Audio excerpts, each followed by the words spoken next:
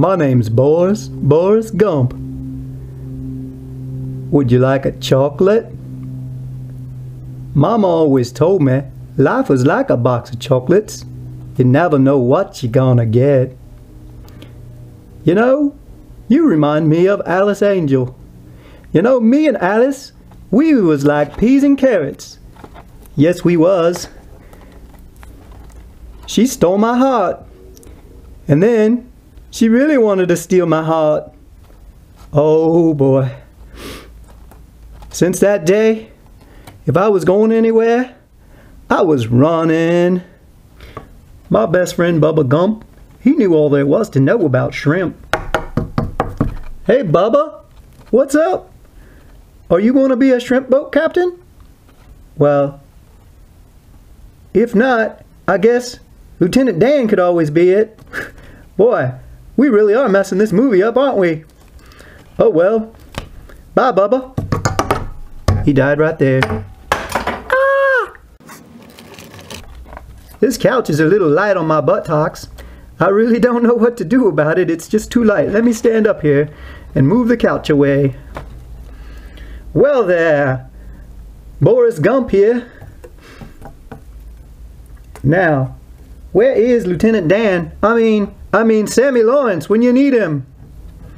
I could just stand up here. That's why the couch was there, so I could sit down. Okay, sit down. This is getting very cringy. Hey, Sammy Lawrence! Sammy Lawrence! I brought you some ice cream. What do you mean, ice cream? I don't eat ice cream anymore. I'm lactose intolerant, don't you know? Ever since they converted me to ink, I just can't stomach that dairy anymore. Well, I'm sorry, Lieutenant Dan. I mean, Sammy Lawrence. You know, this whole studio is full of fudge. Yes, hot liquid fudge. It's not ink. Didn't you know that? Joey Drew, he was trying to make the biggest sundae in the world. Yeah, he, said to me, Sunday, Sunday, Sunday, I will make fudge for all the giant sundaes. And, uh, yeah.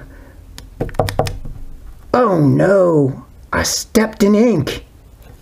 It happens. Um, hey, I got a song I wrote. It's about ice cream. You want to sing it with me? Here, I'll start right now. It's called Googol Gallons of Ice Cream. Do you know how much a Googol is, Sammy? Well, of course I know what a Google is. It's that thing you search on the internet, right? No, no, I'm talking about Googol, the number. You know, 1 followed by 100 zeros. That is a Googol. And I wrote a song about ice cream called Googol Gallons of Ice Cream. You want it? I'll teach it to you. Ready? It goes. Googol gallons of ice cream, Googol gallons of ice cream, one followed by a hundred zeros. That's a whole lot of ice cream, yeah, yeah, yeah. I scream, you scream, we all scream for ice cream.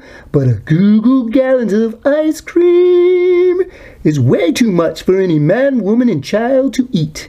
But Joey Drew had an idea of creating the biggest sundae in the world.